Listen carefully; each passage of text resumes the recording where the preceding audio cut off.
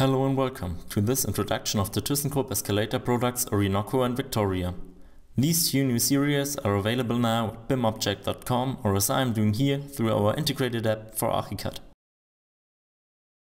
If you search for ThyssenKrupp in the search bar, you will see all the products available. So here we have an overview of the ThyssenKrupp escalator. The products are organized by US and European standard via a product page on our portal. For a short presentation including images, dimensions and a description text, click on the desired product and you will be redirected to its product page. For more information, you can click on the next tab, which will show you a specification text. The tab Links will direct you to the manufacturer's homepage. Related information contains data related to materials and the place of manufacture. Industry standards can be found under the tab Classification. Switching to region, you can see in which countries the product is available.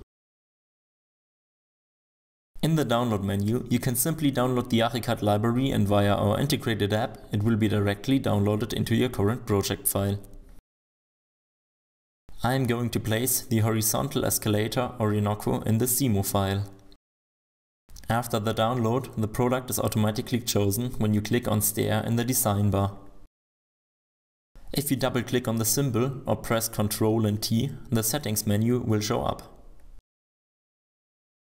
You can set the length of the product from 20 to 100 meters and choose a nominal step width and change the travel speed. For correct representation, you should also adjust the upper floor thickness. By switching to the next tab, you have some more options.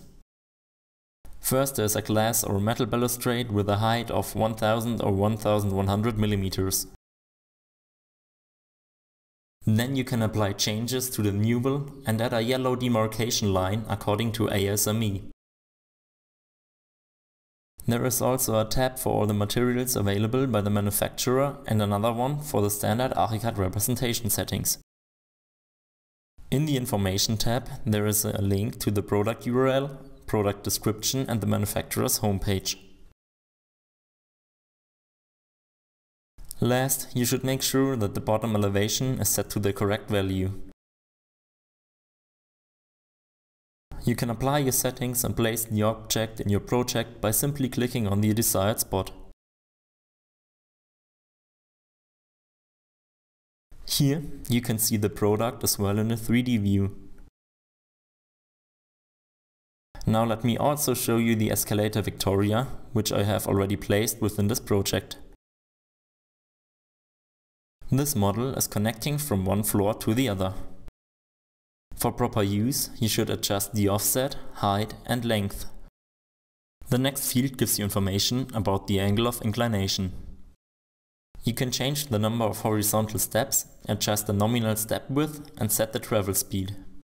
If you are planning an outside escalator, you should check the last box for a water and oil separator. In the next tabs, you can also change the balustrade in the newel and adjust the materials and representation. For more information, you can follow the links in the last tab. The ThyssenKrupp escalators Orinoco and Victoria are available now at bimobject.com. Thank you for watching.